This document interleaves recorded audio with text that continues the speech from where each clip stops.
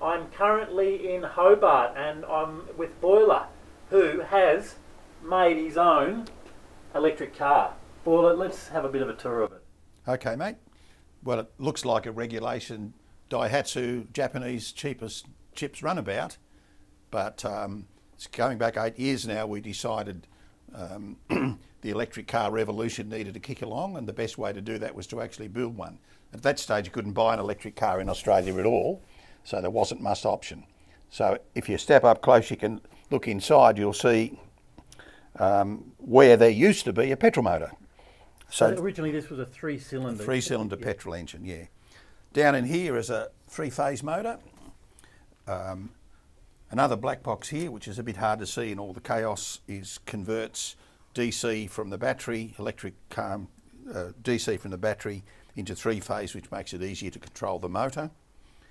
Here's what looks like a very familiar car battery, uh, and it is, and that runs the radio, the lights, the, even the heater, because you do need a heater in this latitude. And the only other change is this little gadget here, which is a, a vacuum pump, because with a petrol engine, the vacuum provides uh, power for the brakes, and this has got power brakes, although it's quite a small car. So that is the main mod. That that's the other modification. Now, now, Boyler, you bought all the parts for this. Yeah, they're electric motor. They're readily available. Yeah, yeah. They're, they're, they're several you'd call them hobby shops really, but all the bits are easily available. Yeah, mm. and and the cost was about eight eight thousand dollars. You say? Yeah, this is eight years ago. It was eighty eight hundred dollars, which was for the new motor, the control unit, the the the uh, vacuum pump, and also a charger for the battery, so that there's an onboard charger, so that the, I can charge this car wherever there's any power point. Wow. Uh, any, any domestic power point. Now, if someone else was to do that you're an electrician by trade, so if someone else was to do that, th- there would be a, quite a substantial labour cost, wouldn't there? Yeah, the labour cost, if you actually had to pay somebody to do it, people have actually tried it in Australia and nobody's been able to make a go of it.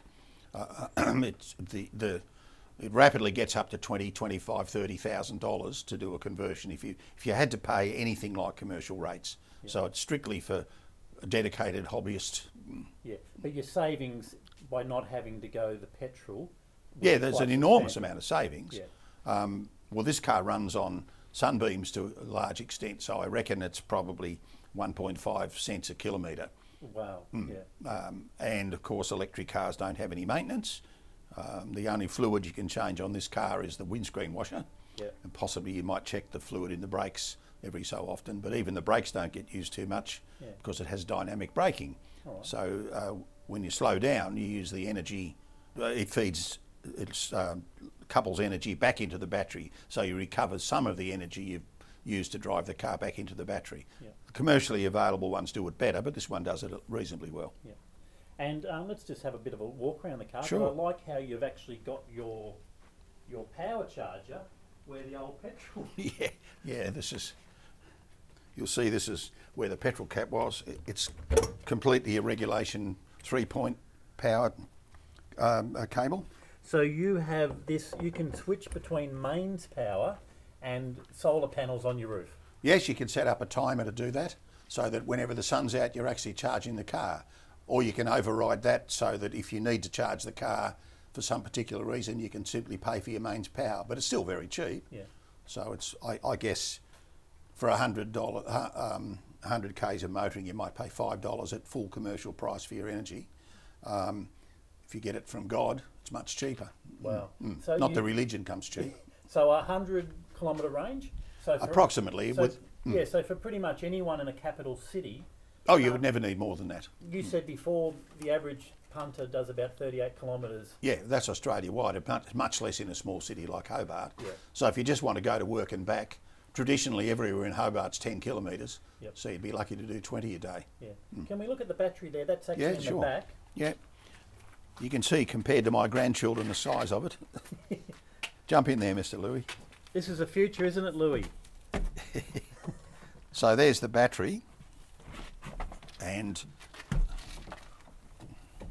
it's actually in the same place that the fuel tank was. Yep to make the point, and also because it was a good place to put the batteries. And you'll see there's another, yet another black box in there, yep. and that is the battery charger.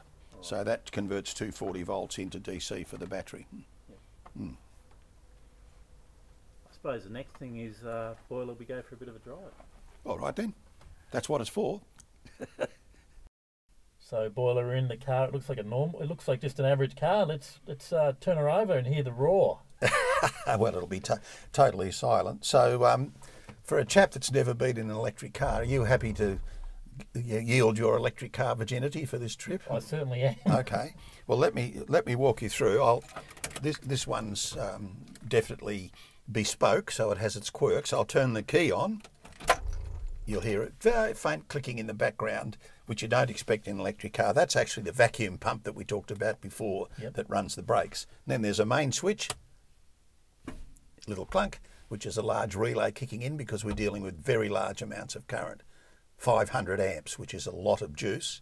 And then you'll see there, there's a nice little gauge, and that tells us um, uh, engine revolutions and current. Switch that switch, you'll see here it says drive, neutral, and reverse. Now, so it's all electric. Put it into reverse because we use mechanical reverse in this car. We're now moving. You'll notice it's totally silent. Slightly eerie the first time you do it. Yeah. All right, so we're taking off. There's no noise at all. Now, the, with the gearbox, was that a hard thing to connect up? Because you have got the original gearbox in, haven't you? Uh, the original gearbox is there. We had to make an adapter plate to fit the motor on. Now we're moving very slowly down my bush driveway in the middle of Hobart. and you'll hear it's the only thing you can hear is road noise. Of course, there's lots of power because these um, electric motors have all their power. Boyler, once a hoon, always a hoon. Uh, Once a hoon, oh, yeah, yeah, bloke. Electrical. I've never grown up and I'm not in any hurry. The um, electric motors have all the power at zero revs, so you get all your power where you need it low down. So even though this is a tiny baby car, it's dynamite at the lights. So um, as you can s- as you can see, we can skid the wheels without any trouble. It is a wet day. Now I'm running the car in second gear because I can. It probably won't need to change.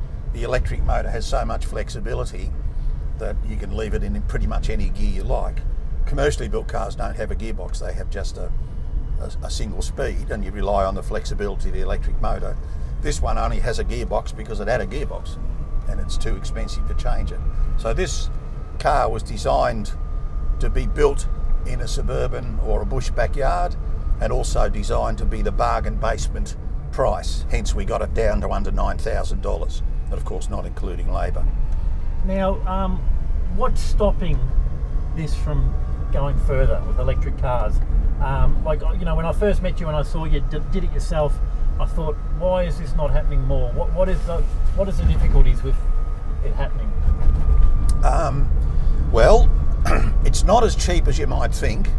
The, the bits are relatively cheap, but if you have to pay somebody to do it and you don't have the hobby expertise to do this same job, I reckon would be about $22,000. We did do that estimate.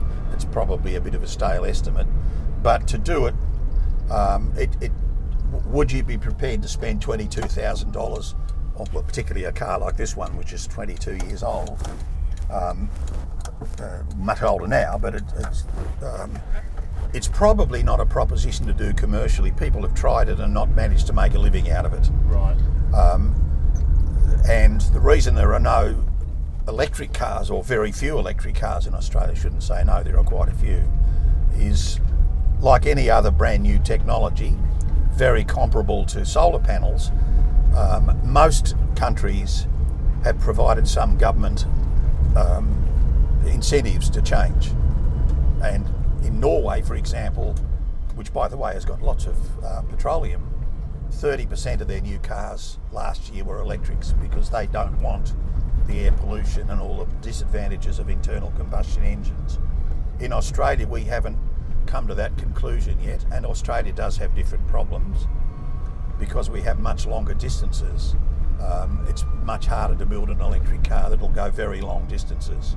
Almost there, but not quite. Yeah. However, since most of us are commuters, that's really where these things come into their own. Like this one only has a design range of 100 k's. I've never ever run out of uh, energy. And when you bring it home after, say, running it down, running the battery down, what sort of time frame does it take to charge that battery? Um, if I've run it to a third capacity, which is what I normally would do, probably needs two hours on the charger, two and a half. Oh wow! Remember, we're talking about just the same charger that runs your electric toaster. Yeah. So it, it's not. I've got no provision for any high current charging. I could do. I just don't need it.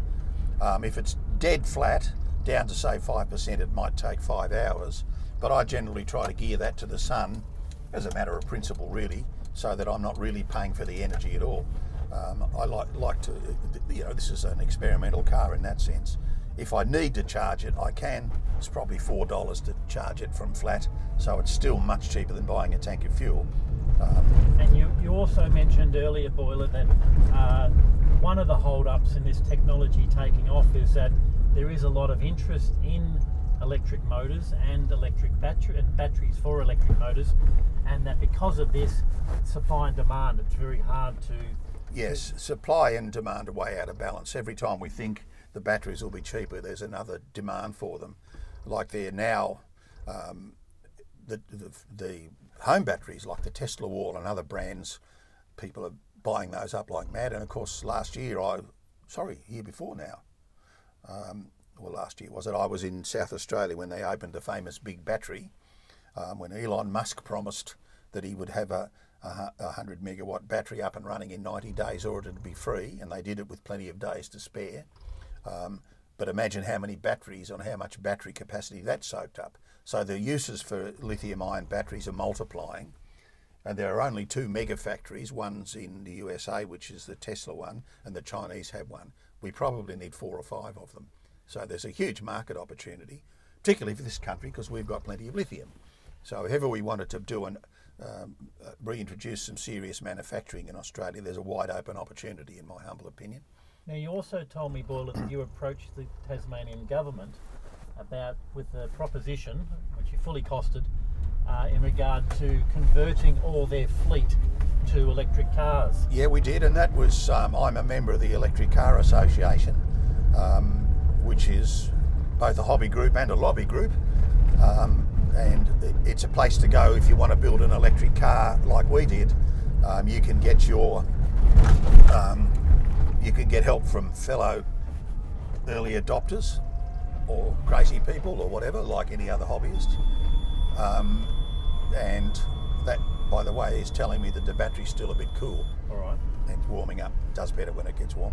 The um, so we're a hobby group in that sense, but we're also a lobby group because we're committed to the idea that this country would be well served by being less dependent on petroleum from overseas.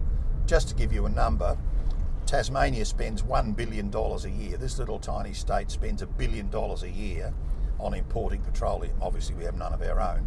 Wow. If we could say have half the car fleet, uh, particularly light light vehicles and increasingly heavy trucks, which are now coming on the market, if we could save a billion dollars a year and that money stays in the state, we would not have a deficit in the budget.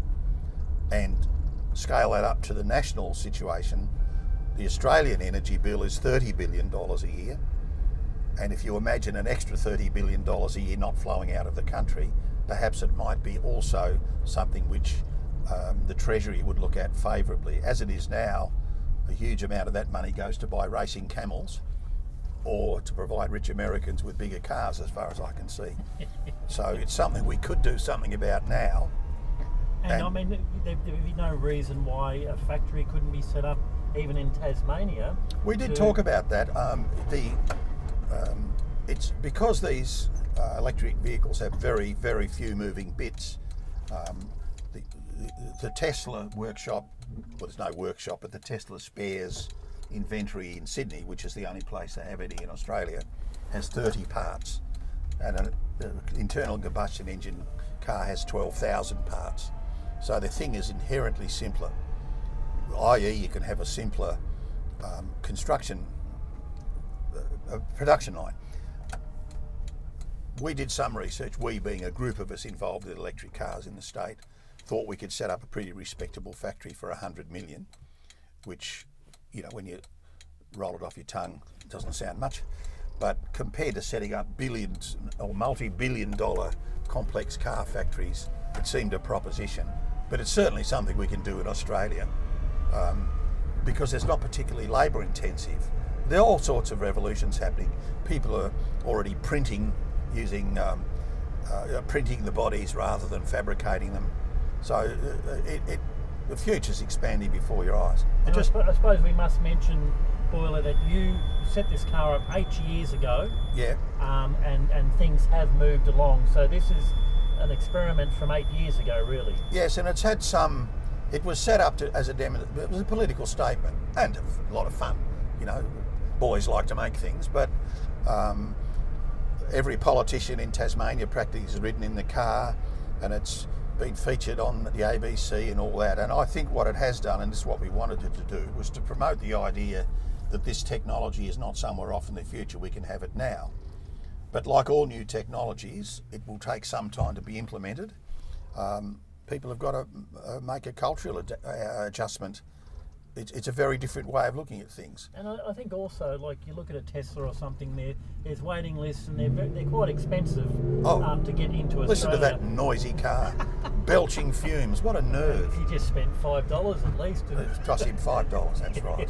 yeah, and and I mean you've done it. You've shown an example that you know for, y- y- that for people who maybe on a budget, they can do it themselves Yeah. and they can and they can do it cheaply and, and save a lot of money in the process. Yep, yep, it can be done. Well, lots of us have done it. There are lots of home builds around the country now. I think when this one was first registered, uh, there were only four electric vehicles in Tasmania, and there are hundreds now, including Teslas, lots of Teslas. Um, and there are some uh, some very good commercially made cars. We just went to a launch last week. Uh, uh, Hyundai brought out a new car called an Ioniq. That has a 250k range, and it's coming down more to a price that more, uh, the, the more affordable price. It's somewhere between 40 and 50 grand. And when you look at the savings over the life of the car, it's highly competitive already with petrol cars. But where it really, um, and where we've been trying to interest governments and some bigger businesses in this, is people who run a, a fleet of cars um, where they uh, where the cars are running constantly. It's absolutely a no-brainer to have an electric because your fuel costs pretty much vanish um, and no servicing. So your cars are never off the road, and you're not having. having a bit of difficulty hearing your Boyler. Yes, I know those. They, Look, we're, we're up to about 15 minutes there, Boyler. Um, yeah, well, listen to that. God. shame on that chap. Oh, it is a night. I mean, on a motorbike, but, you know, on a motorbike uh, though, there is something about being very noisy. Oh yeah, That is fun. all of all of us love Yeah. cars, different ways. But look, Boyler, we're, we're up to about 15 minutes now, and, and, and I think I'll cut it there. And, and if anyone's interested in what we've been talking about, maybe we'll have a follow-up video. Yeah. So we'll see what interest is in, you know, do it yourself. Um, Boyler, thanks for your time. Fantastic to, to drive in your car and to see how you've done it all. And um, yeah, this is this is the future. This is the future. The future's here. How do you feel now that you're no longer an electric car virgin? Are, Oh, you, smi- are you smiling? It's um, it, it's. I mean, it, there, is noise. Like I was thinking, there would be absolutely no noise, but as people can hear, there is still road noise. Yeah, yeah. And and there's no problem with the power. no, Um, no, there's got plenty, far more power than any petrol car. Yeah, yeah. Boyler, thanks for your time. It's entirely a pleasure, mate.